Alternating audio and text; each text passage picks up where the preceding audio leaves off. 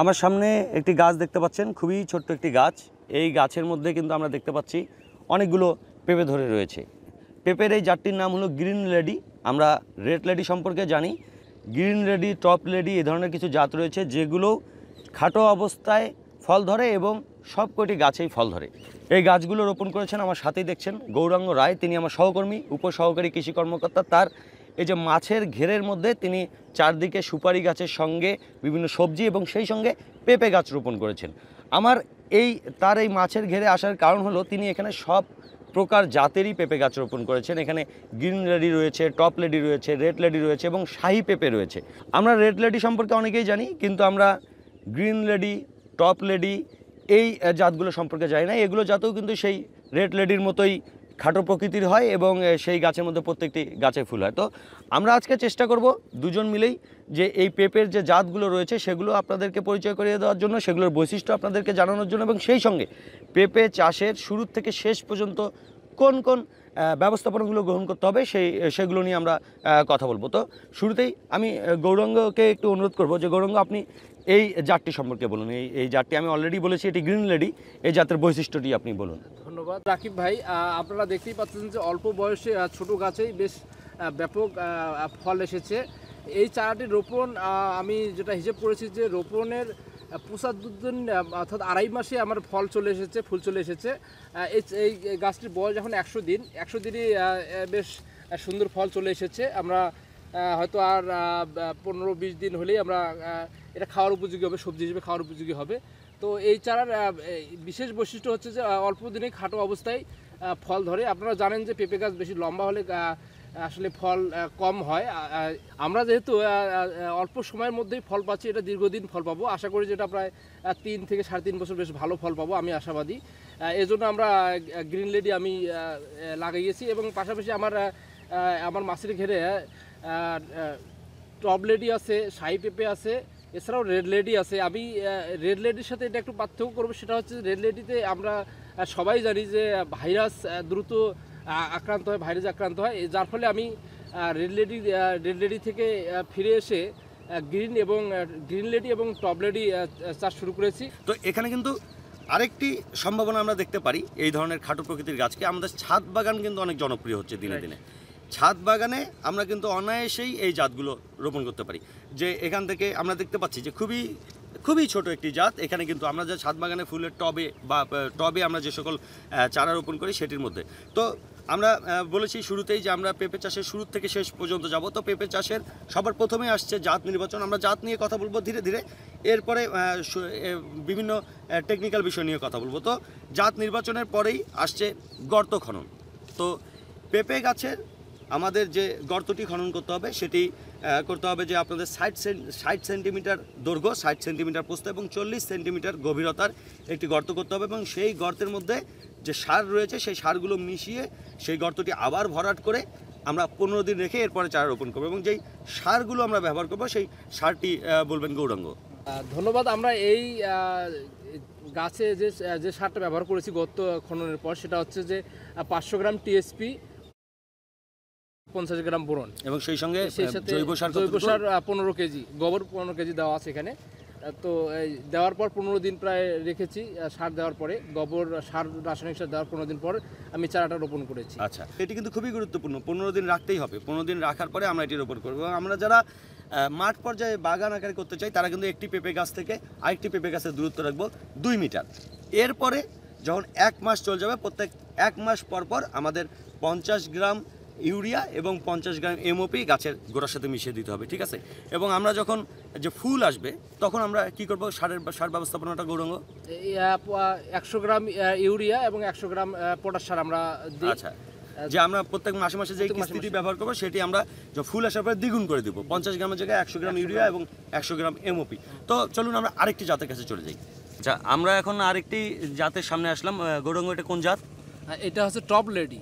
Top lady আচ্ছা এই গাছটিকে আমরা কিন্তু দেখছি যে আমরা যে গ্রিন লেডি দেখলাম সেটির চেয়ে কিন্তু একটু লম্বা। এটি এটি কি আগে রোপণ করা হয়েছিল নাকি একই জাতে একই সাথে আমি একই সাথে গ্রিন লেডি এবং টপ লেডি রোপণ করেছি। তো আমি যেটা পার্থক্য করতে এখন যেটা পার্থক্য বুঝতেছি সেটা হলো যে গ্রিন লেডি খুব ছোট অবস্থায় ফল আসা শুরু করে।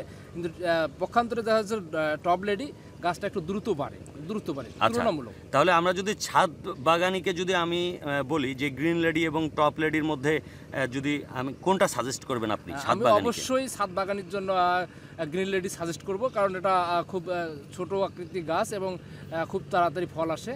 আমি অবশ্যই গ্রিন লেডিকে সাপোর্ট গ্রিন লেডি আচ্ছা। আমরা তো দেখব রেড লেডিও দেখব আপনার এখানে অবশ্যই আছে।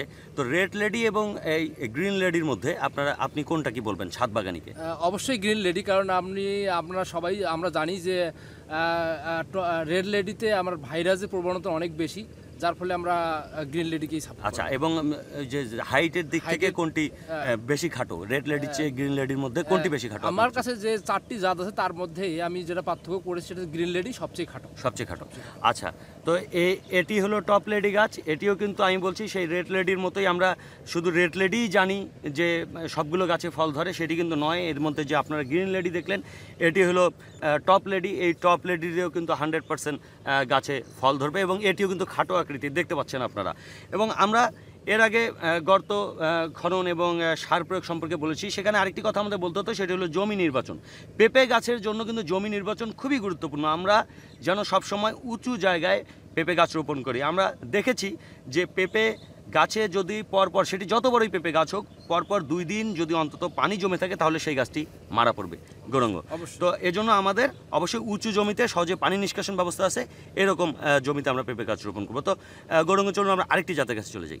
এখন যে গাছটির সামনে আমরা রয়েছি সেটি হলো রেড লেডি। আমাদের একটু বসতে কষ্ট হচ্ছে কিন্তু আপনারা রেড লেডিকে সকলেই জানেন যে তাইওয়ানের একটি বিখ্যাত জাত রেড লেডি এবং আমরা যে সকল গাছে হান্ড্রেড পার্সেন্ট গাছে ফল হয়, যেই গাছগুলো সবার প্রথমে আমরা দেখেছি সেটি কিন্তু আমরা রেড লেডির জাতটি দেখেছি। তো এটি আমাদের কৃষকেরা অনেকেই বলেন যে যে রেড লেডি চাষ করতে করতে এমন হয়ে গেছে, সেটি ভাইরাসজনিত বিভিন্ন রোগ রয়েছে, সেগুলো সংবেদনশীল হয়ে গেছে। কিন্তু প্রপার ব্যবস্থাপনা করলে কিন্তু সেই গাছটির মধ্যে ভাইরাস ধরবে না, যেটির প্রমাণ কিন্তু আপনারা এখানেই দেখতে পাচ্ছেন। যে গৌরাঙ্গ সেই রকম ব্যবস্থাপনা করেছেন সেই ব্যবস্থাপনার কারণে কিন্তু এখানে ভাইরাসজনিত রোগগুলো হয়নি। তো গৌরাঙ্গর কাছে আমি চলে যাই যে গৌরাঙ্গ যে এই যে রেড লেডি গাছটি রয়েছে, এটি কি আপনার ওই যে বাকি যে জাতগুলো দেখলাম আমরা, গ্রিন লেডি, টপ লেডি, সেগুলো একই সঙ্গে রোপণ করা কিনা? ধন্যবাদ। এটা একই সঙ্গে রোপণ করা এবং এটা এখন পর্যন্ত ভালো আছে, এই কারণে ভালো আছে যেটা আমার অবজারভেশন সেটা হচ্ছে আমি নিয়মিত ভাইরাসের যে বাহক পোকাগুলো, সেগুলো দমনের ব্যবস্থাপনা রেখেছি।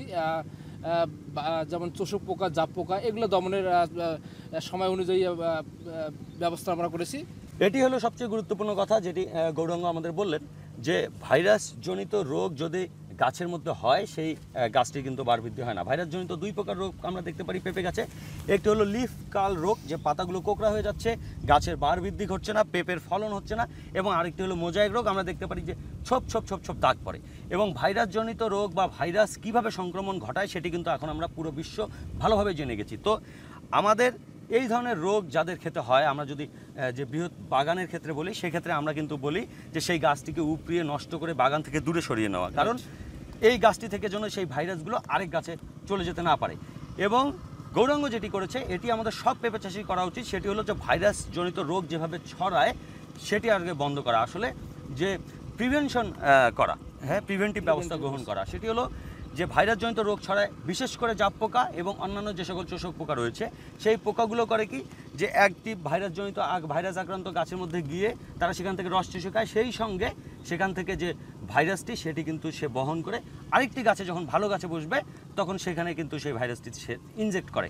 And এর জন্যই কিন্তু আমরা বলি যে ভাইরাস আক্রান্ত গাছটিকে আমরা মাঠ থেকে সরিয়ে ফেলব যেন সেখান থেকে রোগটি না ছড়ায়। এক নম্বর, এবং আমাদের গাছের জাপ পোকা বা ওই যে সকল সাকিং পেস্ট রয়েছে সেগুলো যেন আক্রমণ করতে না পারে সেই ব্যবস্থা গ্রহণ করা। এবং সেজন্য আমাদের যে কীটনাশকগুলো রয়েছে আমরা ইমিডাক্লোপিড গ্রুপের কীটনাশক দিতে পারি এক লিটার পানিতে হাফ মিলি স্প্রে করে আমরা মাঝে মধ্যে স্প্রে করে দিতে পারি। গৌরঙ্গ আপনি কতদিন পর পর এই গাছটিতে? আমি এক মাস পর পর স্প্রে করি এই গাছটিতে ইমিডিয়াকুলোপিড ইমিডাক্লোপিড স্প্রে করেন। তো এই যে গৌরঙ্গ দেখতে পাচ্ছেন কিন্তু সাথেই প্রমাণ এবং যে আমরা রেড লেডি সম্পর্কে যারা বলি যে ভাইরাস খুব হয় তাদের কিন্তু ব্যবস্থাপনা আমরা গ্রহণ করলে কিন্তু ভাইরাসের আক্রমণটা কম হয়। এবং আমরা অন্যান্য গাছ যেটি বলেছি বিশেষ করে গ্রিন লেডি সেটিতে কিন্তু সহজেই ভাইরাস আক্রমণ করতে পারে না। আমরা সেই জাতগুলো চাষ করব এবং আমরা যারা রেড লেডি পছন্দ করি জানি যে অনেক বিখ্যাত জাত এবং ভিতরে অনেক লাল রঙের হয় সেটি যে আমরা চাষ করতে চাই তারাও কিন্তু আমরা চাষ করব। আমরা নিরুৎসাহিত করছি না কিন্তু তাদের কিন্তু সঠিক ব্যবস্থাপনাটা করতে হবে। আচ্ছা আরও কিছু রোগ রয়েছে সেগুলো নিয়ে আমরা আরেকটি জাতের কাছে গিয়ে কথা বলি। চলুন গৌরঙ্গ। আচ্ছা গৌরঙ্গ আমরা বর্তমানে যেই গাছটির সামনে দাঁড়িয়ে আছি এটি কোন জাতের পেঁপে? এটা সাই পেঁপে এটা সাই পেঁপে সাই পেঁপে মানে বাংলাদেশ কৃষি গবেষণা ইনস্টিটিউট কর্তৃক যে হাইব্রিড পেঁপের জাতটি উদ্ভাবিত হয়েছে সেই জাতটি এটি। আচ্ছা এই গাছের পেঁপেগুলো আমরা কিন্তু ওই গাছের পেঁপেগুলোর তুলনায় অপেক্ষাকৃত বড় দেখছি।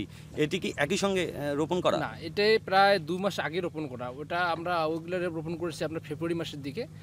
এটা প্রায় ডিসেম্বর, জানুয়ারির দিকে করেছি। আচ্ছা আচ্ছা এই জন্যই তো দর্শকদের এটা ভাবার কারণে যে এই এই পেঁপেটি ওটি ওই পেঁপেগুলো এটির তুলনায় একটু কম বৃদ্ধি পায়। এটি আসলে একটু আগে রোপণ করা, দুই মাস আগে রোপণ করা এই জন্য কিন্তু সেখানে আমরা দেখতে পাচ্ছি পেঁপের জাতগুলো বড়। তো এই শাহী পেঁপে, এটা আমরা সকলেই চিনি, এটি অত্যন্ত জনপ্রিয় একটি জাত বাংলাদেশ কৃষি গবেষণা ইনস্টিটিউট কর্তৃক উদ্ভাবিত একটি হাইব্রিড জাতের পেঁপে। এবং আপনারা দেখতে পাচ্ছেন যে এটি কিন্তু, এটিও কিন্তু যে খাটো আকৃতির। আমরা যে আমাদের মধ্যে আমরা অনেকে জানি না জন্য আমরা বুঝতে পারি না যে আমাদের দেশের আবিষ্কৃত যে পেঁপে জাতগুলো রয়েছে সেগুলোও কিন্তু অনেক খাটো প্রকৃতির হতে পারে। এবং এখানে আমরা দেখতে পাচ্ছি যে এই খাটো প্রকৃতির খাটো আকারে এটিও কিন্তু আমরা যেমন মাঠ ফসলে করতে পারি আমরা যেই জাতগুলো দেখালাম আমরা সবকটি কিন্তু আমরা কিন্তু এই পেঁপে গাছটি কিন্তু আমরা অনায়াসে হাফ ড্রামে করতে পারি যারা। ছাদ বাগান করতে চায়।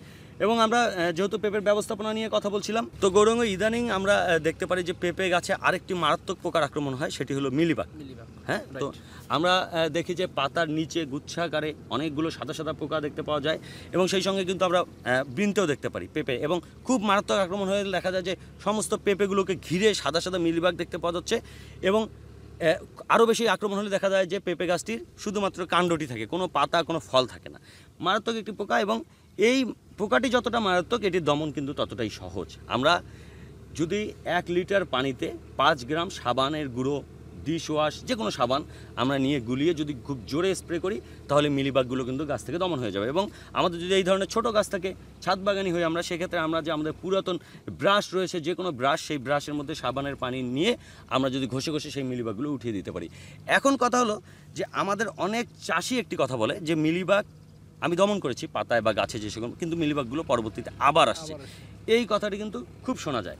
এটির কারণ হলো যে মিলিবাগ কিন্তু তার জীবনচক্রের একটি সময় মাটির নিচে অতিবাহিত করে। সেই মিলিবাগগুলো আস্তে আস্তে গিয়ে মাটির নিচে গিয়ে তারা ডিম পারে পরবর্তীতে সেই ডিম থেকে খুব ক্ষুদ্র ক্ষুদ্র মিলবাগ যেগুলো আমরা সহজেই দেখতে পারি না, তারা কিন্তু গাছ বেয়ে বেয়ে উপরে উঠে, এরপরে যখন রস খেতে থাকে, আস্তে আস্তে মিলিবাগগুলো বড় হয়ে যায়, এরপরে সেটি দৃশ্যমান হয়।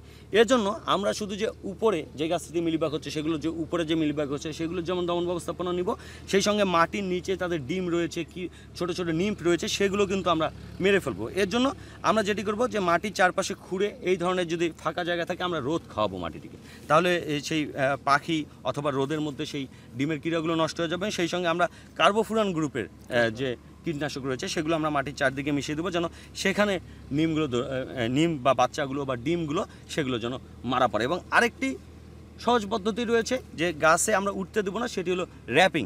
র্যাপিং সম্বন্ধে গৌরঙ্গ একটু বলেন আপনি। র্যাপিং সম্বন্ধে আমি যেটা বলে যাই সেটা হচ্ছে যে আমরা প্লাস্টিক প্লাস্টিক আমরা পুরো এক ফুট এক ফিট প্লাস্টিক। প্লাস্টিক আমরা বাজারে কিনতে পাবো, সেটা হালকা প্লাস্টিক হলে হবে। সেটা দিয়ে আমরা পেঁচিয়ে দেবো, দিয়ে আমরা কস্টেপ দিব কস্টেপ দিয়ে মরাই দেবো। তাহলে দেখা যাবে যে নিচ থেকে মিলিবাগ বা যে নিম বা বাচ্চাগুলো সেগুলো আর উঠে উঠতে উঠে আসতে পারবে ওই যে সেই পলিথিনের মধ্যে পিছলে আবার মাটিতে পড়ে যাবে। এবং অথবা পলিথিনের নিচে জমা হতে থাকবে। তখন আমরা খুব সহজে কিন্তু সেগুলো দমন করতে পারব। এটি কিন্তু খুবই চমৎকার একটি পদ্ধতি এবং জৈবিক পদ্ধতি। যে আমরা কোনো কীটনাশক ব্যবহার না করে আমরা কিন্তু মিলিবাগ আমাদের গাছে উঠতে দিলাম না। নিচে থাকল কিন্তু আমরা গাছে উঠতে দিলাম না। স্কচ টেপ পেঁচিয়ে অথবা পলিথিন পেঁচিয়ে সেখানে একটা পিচ্ছিল একটা জায়গা তৈরি করা সেটির জন্য মিলিবাগের যাতায়াতের পথ বাধাগ্রস্ত করা। তো আমাদের গৌরঙ্গ আপনার আরও কিছু পেঁপে গাছ রয়েছে যেগুলো আপনারা এর পরে রোপণ করেছেন। চলুন আমরা ওই বাগানটিতে যাই এবং সেই সঙ্গে আমরা বাকি যে ব্যবস্থাপনা সেগুলো নিয়ে কথা বলি। আচ্ছা এখন আমরা গৌরঙ্গের আরেকটি বাগানে আসলাম। গৌরঙ্গ এখানে যে আমরা গাছ যে জাতগুলো দেখতে পাচ্ছি এটি আসলে কোন জাতের? এটা টবলেটি টবলেটি সবগুলি top। তো এখানে আমরা দেখতে পাচ্ছি কিছু কাঠের গাছ কলার গাছ আবার পেঁপের গাছ। এটি আসলে আপনার মূলত কোন ধরনের জমি এটা? এটা মূলত আমাদের পতি- পতিত জমি। এই পতিত জমিতে আমি চিন্তা করলাম যে একটু সদ্ব্যবহার করা যায় কিনা।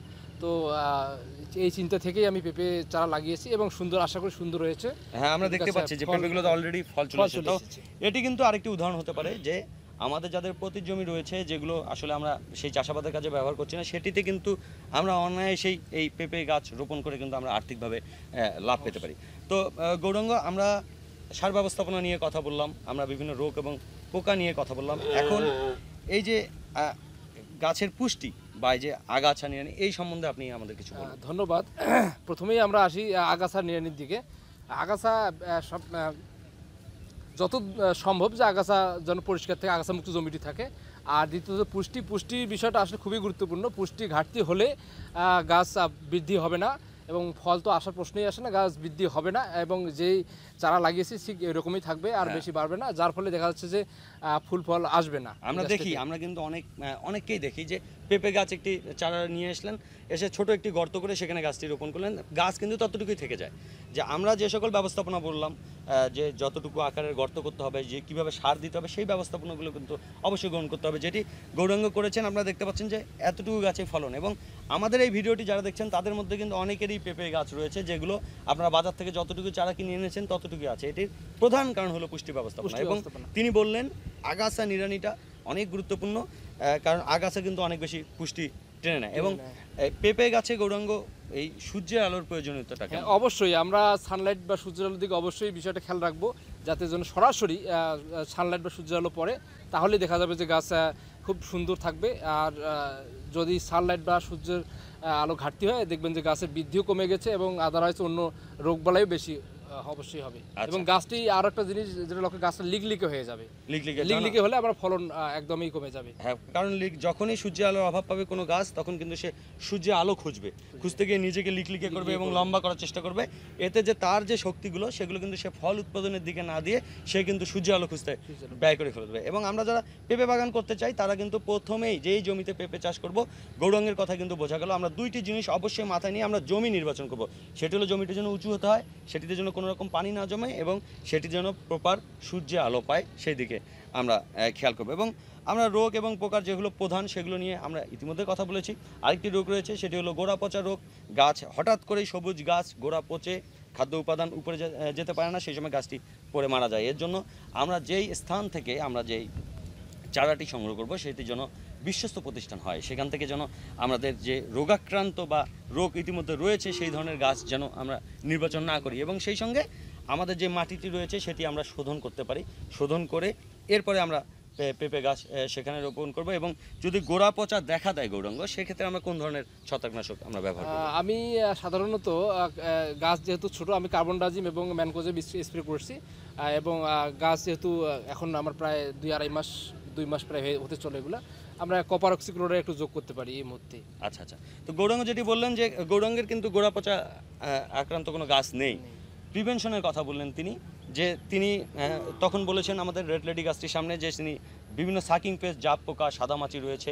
এগুলো দমনের জন্য তিনি ইমিডিয়াক্লোপিড গ্রুপের কীটনাশক ব্যবহার করে। সেই সঙ্গে যেন কোনো রোগের আক্রমণ হতে না পারে এজন্য মাঝে মধ্যে সে প্রিভেনশন হিসেবে তিনি ম্যানকোজেব এবং কার্বনডাজিম গ্রুপের যে ছত্রাকনাশকগুলো রয়েছে সেগুলো এক লিটার পানিতে কত করে কতটুকু করে দেন? দুই গ্রাম করে দুই লিটার দুই দুই যখনই তিনি দেন যেটি দেন সেটা এক লিটার পানিতে দুই গ্রাম করে স্প্রে করতে হয়। কারণ আমরা সকলেই জানি prevention is better than cure তো আমরা আজকের ভিডিওটি এখানেই শেষ করছি। এরপরেও যদি আমাদের এই পেঁপে চাষ নিয়ে আপনাদের কোনো কিছু প্রশ্ন থাকে, তাহলে আপনারা কমেন্ট বক্সে করতে পারেন। আপনারা চেষ্টা করব দুজনে মিলে আপনাদের প্রশ্নগুলো উত্তর দেওয়ার। ধন্যবাদ সকলকে, ভালো থাকবেন, আসসালামু আলাইকুম।